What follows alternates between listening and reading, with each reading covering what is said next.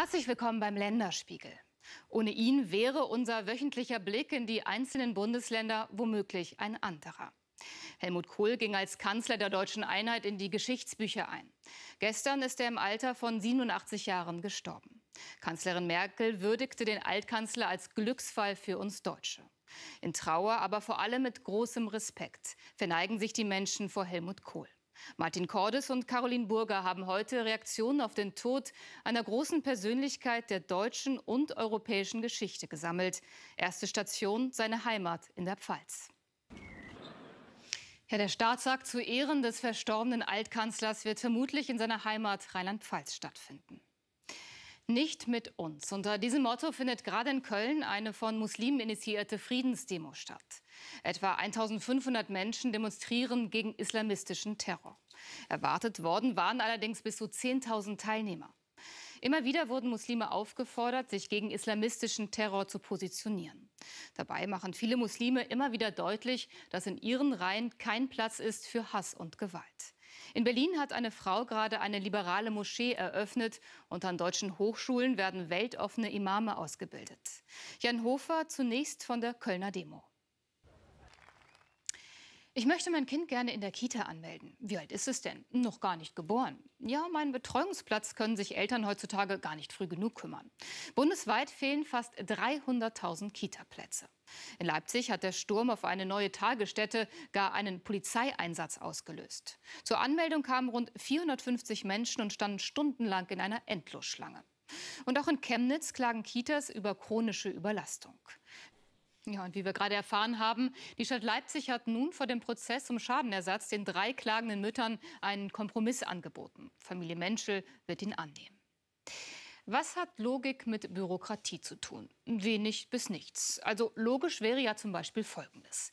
Wer auf den Straßen die Umwelt verpestet, muss mehr zahlen. Bürokratie heißt aber, wer der Umwelt Gutes tun will, wird bestraft. Denn wer denkt, dass man mit einem Elektroauto, das bekanntlich keine Abgase ausstößt, keine Feinstaubplakette braucht, bekommt ein fettes Knöllchen. Unser Hammer der Woche.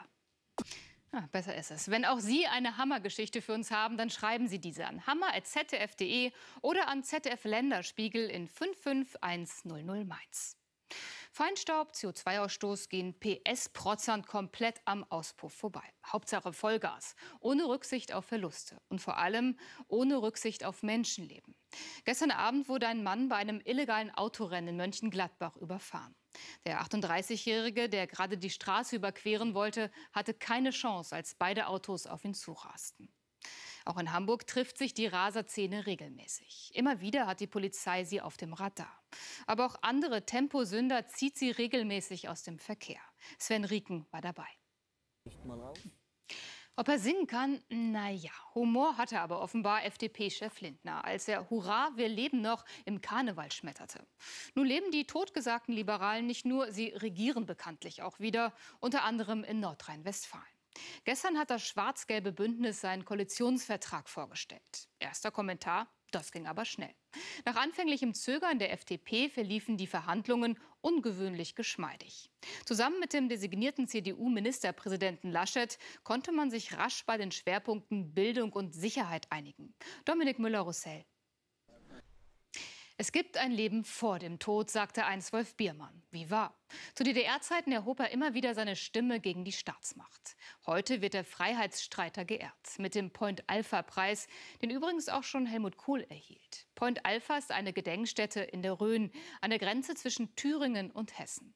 Aber natürlich kann man dort nicht nur deutsch-deutsche Geschichte erleben, sondern jede Menge mehr, wie Westernreiten oder Schnitzen. Be na, wie schön. Da ist der Muskelkater doch direkt vergessen. Und beim nächsten Mal klappt es auch mit der Sternschnuppe. Wir Deutschen werden ja gerne als Oberspießer bezeichnet. Aber hey, wie sagt die Jugend schon seit längerem, Alter, jetzt chill mal deine Basis. Und das scheint anzukommen. Immer mehr Politiker sind jetzt echt Shido, also cool drauf. Zum Beispiel oben an der jamaikanischen Waterkant. Aber auch CSU-Mann Dobrindt macht einen auf Jimi Hendrix am Steuer. Schauen Sie selbst im Rückspiegel. Und wir chillen nun auch und sagen Tschüss. Hier geht's nun weiter mit Menschen, das Magazin. Und im Anschluss ziehen 50-jährige Männer Zwischenbilanz bei Mona Lisa. Ich bin gespannt. Genießen Sie noch das herrliche Wochenende. Bis demnächst. Machen Sie es gut.